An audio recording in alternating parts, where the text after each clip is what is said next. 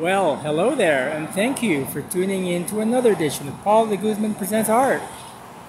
So I'm very happy to have uh, found that I have some new subscribers to the channel. Thank you very much for your patronage. I mean, it's not going to cost you any money, but I'm really thankful that this channel is starting to go and reach some people, and I'm getting some really great feedback. So thank you for all of those who have supported the channel by subscribing or by contributing to the uh, engagement in contemporary art, not just here in Vancouver but elsewhere. I would also like to take a moment to acknowledge that we are on the unceded and ancestral territories of the Musqueam, Squamish, and Tsleil-Waututh nations, also commonly known as the City of Vancouver. So in the City of Vancouver, I am in the 800 block of East Broadway.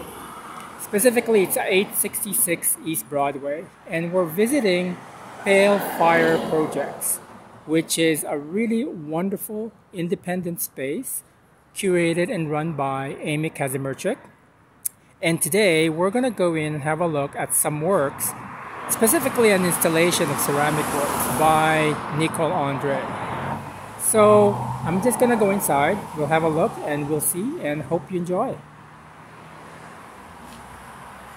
So a little bit information about Pale Fire Projects. It is open Fridays and Saturdays from 12 noon to 10 p.m. And um, all of the information about the, um, the project space or the gallery will be contained in the description area of this video. So we're just going to go in and have a look. Open the door. So we're just going to go and pan through the entire gallery. I'm not going to say anything about the works yet because I want it to remain a little bit enigmatic for now.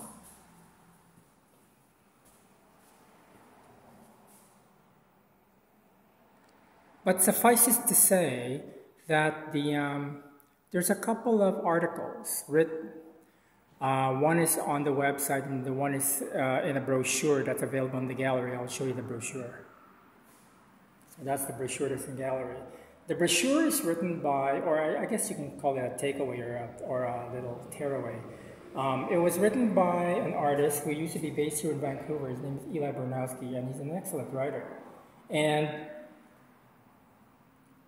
on the website is also uh, a short article written by Amy Kazimirchik, who is also the um, the, the, the proprietor and the curator for the space.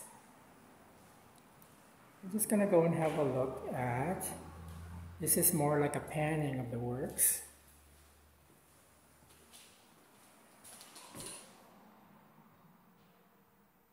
So I'm not sure if it's uh, apparent around this moment in time, but these are all ceramic works.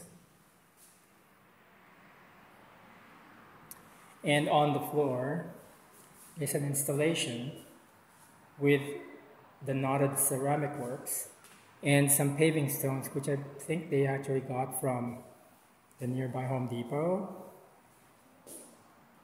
I should know, I used to uh, work part-time at the Home Depot and I know these quite intimately. Anyways. So, what do I know about Nicole Ondre? I know that the first time I saw her work was about more than a decade ago when she had her first show at the CSA space. Um, and I think that was also when she completed her BFA here in Vancouver. And then I kind of lost track of the trajectory of her work because she had gone out of town to complete her master's elsewhere. And interestingly enough, let's say a decade has gone by, and I encountered her work again last year at a local Vancouver space called CSA Space.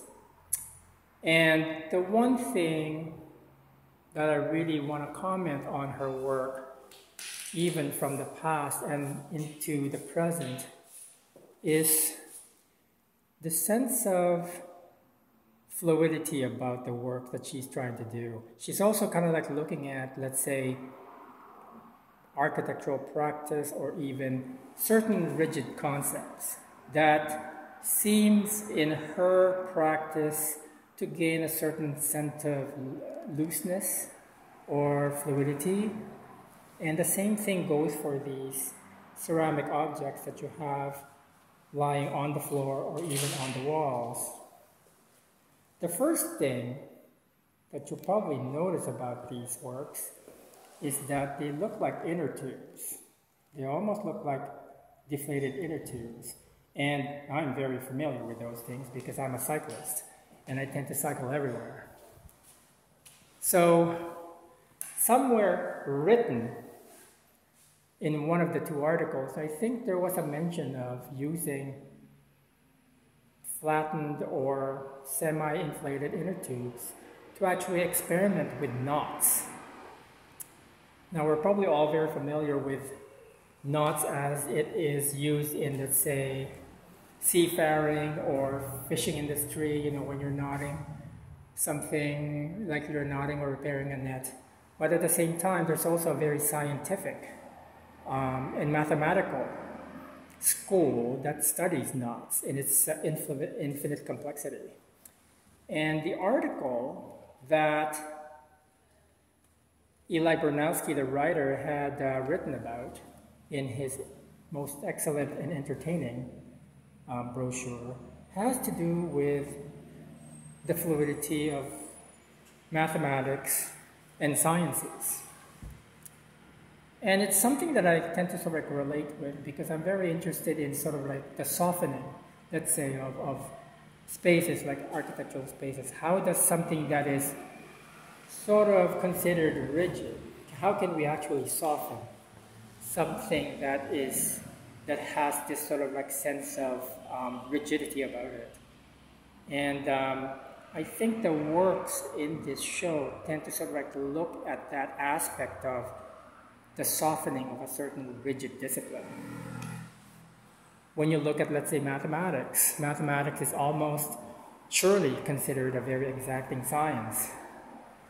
But at the same time, mathematics is also used in sort of like formulating, let's say, knot theory or the fluidity of space. There's a lot of applications that an, that an exacting science like mathematics tend to sort of like prove the fluidity of certain phenomenon in nature. But you know what? Enough of that. You're probably getting bored with that one. So I'm going to go and have a look at these ceramic works because these works tend to sort of defy a certain sense of logic.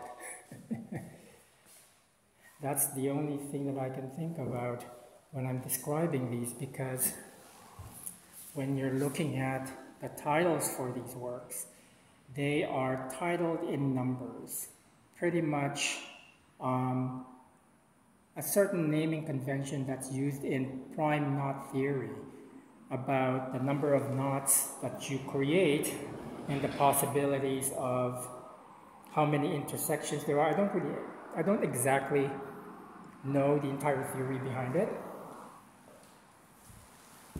But I guess when you're looking at works like this, a lot of those ideas tend to sort of like become more like an underlay towards the object, object themselves. When you look at the object, you kind of like question why are these forms like this? You know, what can I deduce from these forms that I have not been able to do just by looking at them?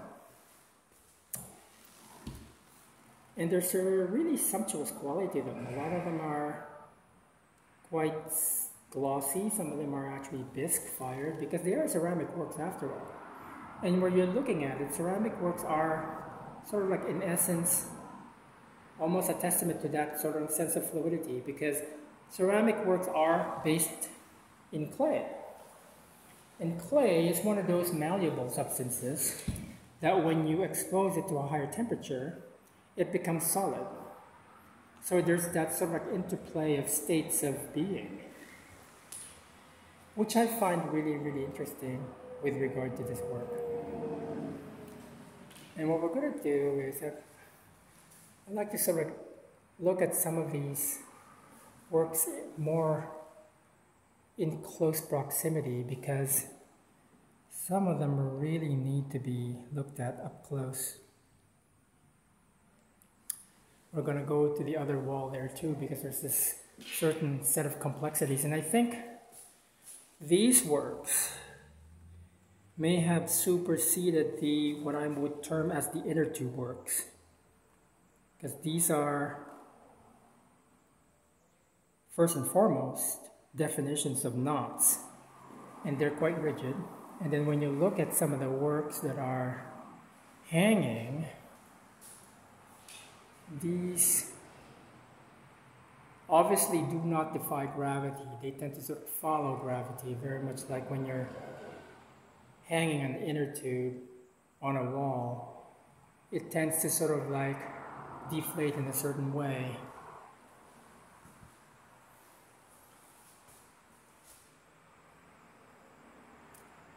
So I think what I'm going to do is I'm going to leave it at that.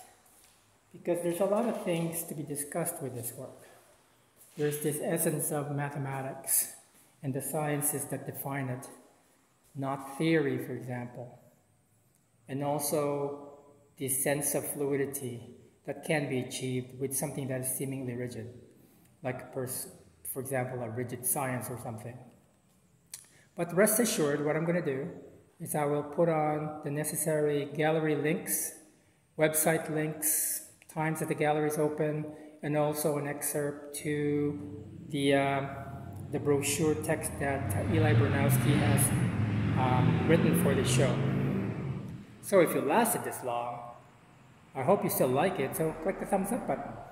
Also, if you're curious about future um, topics for this channel, just click the subscribe button.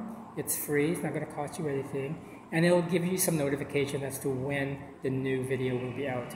I usually put out a video every week, so hopefully you have gained something from this from this video of the work of Nicole Ondre over at Pale Fire Projects, 866 East Broadway Street, open Friday and Saturday from noon to 10 p.m. And on that note, I am out of here. Thank you. Have a great day.